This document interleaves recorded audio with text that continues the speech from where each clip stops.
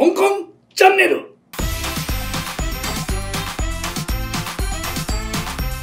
質問はこういうのが来ております。え、っとですね、ニュースがありまして、食堂でパンと納豆を多めに取った自衛官を定食という、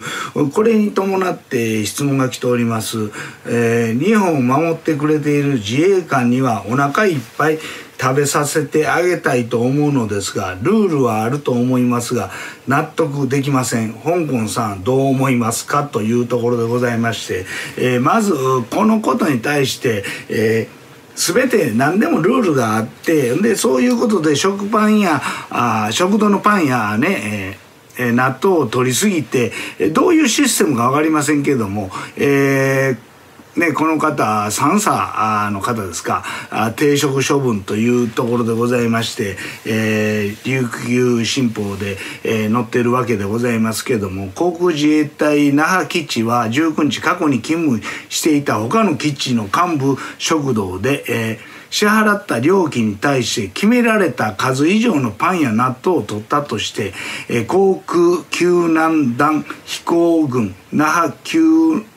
団体に所属する三等空佐の40代男性を停職10日間の懲戒処分にしたと発表したと、えー、那覇基地によると男性は2019年5月23日から6月4日複数回にわたり幹部自衛官が使用する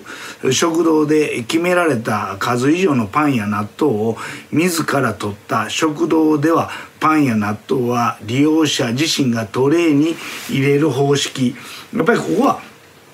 支払った料金に対して決められた数以上のパンや納豆を取ったらこれはやっぱりルール違反中かあ無銭飲食にも当たるわけでございますのでこれはあの本当に、えーえー、それその方が自衛官であろうが警察官であろうがあお医者さんであろうが消防士であろうがお笑い芸人であろうが、えー、無職であろうがあどんな方もやってはいけないというところでございますので、えー、停職処分、うんねえー、ただ厳しいっていうね、えー、意見もあるかも分からへんけども定職っていうのは10日間定職になれば10日間の給料がねやっぱ払われへんというわけでございます。でやっぱり、えー、お金を払わんとそういうことをしたらそれ以上にペナルティがあるというねこれはもう常というところでございますけれども心情的にはね自衛官の皆さんにはお腹いっぱい、えー、食べていただいたらっていうのはあありますよ。それは、えー、その、えーこういうところじゃなくて急ね災害地とかあそういうところで、えー、ね私も、えー、自衛官の方にも話を聞いたこともあるし、えー、その取材してるジャーナリストの方にも話を聞いた。そして、えー、ね、自衛官の食べてるものっていうのはあの栄養価の高いものでございましてやはり、えー、ね、えー少量のもので、えー、栄養価の高くせなあかんし、えー、ね、すごい、えー、体力を使うねお仕事をするからあちょっと話は変わってしまいますけどね今は。そのこの定職処分はあきついかきつくないかって言ったらやっぱりそういうことに対して、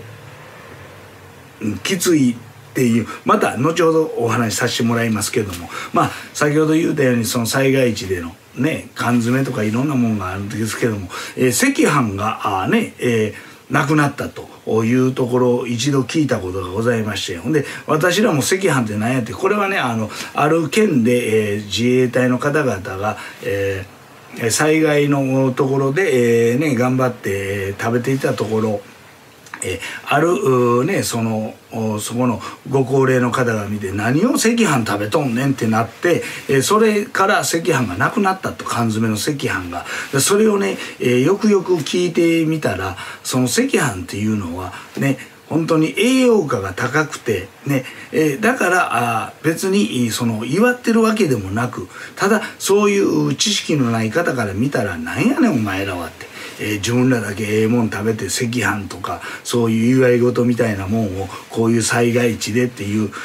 うん、ところでそれからあの自衛隊の方があご飯を食べる時は、えー、一般の民間の方の目の触れないところで食べてるっていうようなことを聞いたことがございますので、えー、そういうことは決して、えーないようにしたいなと思います、えー、私たちの命生命財産を守っていただける方々なんですから敬意を称して、えー、ね頑張ってる方にはあちゃんと栄養のあるものを食べていただいて、えー、しっかりね活躍していただくことが望むところでございますけども今回の空時の三叉のやったことっていうのはね、え食堂で料金を払わずに必要払ってるけども必要以上にパンと納豆をっていうところで、えー、相当パンと納豆が好きやったかも分かりませんけどもそこはやっぱりその分の金額を払っていたらこういうニュースにもならないし、うん、ただ本当に、えー、これはちょっと厳しすぎるっていう意見もありますけども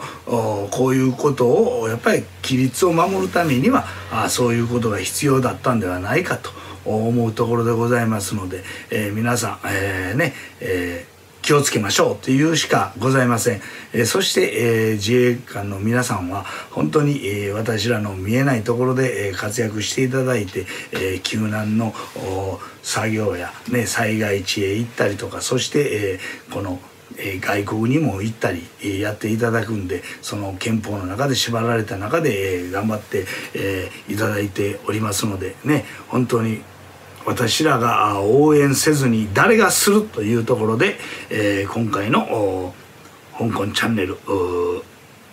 この質問に対してのお答えでございます、えー、これでよろしいでしょうか、えー、厳しいところは厳しく。ね。ルールあってのことなんで、えー、どんな方でもそういうことはあしないでいただきたいというところが私の本音でございます、えー、ご清聴ありがとうございました、えー、登録よろしくお願いします。また私出てきますけどね、えそれじゃあありがとうございました。皆さんチャンネル登録よろしくお願いします。そしていいねを押していただければまた私も励みになりますのでよろしくお願いします。香港からのお知らせでした。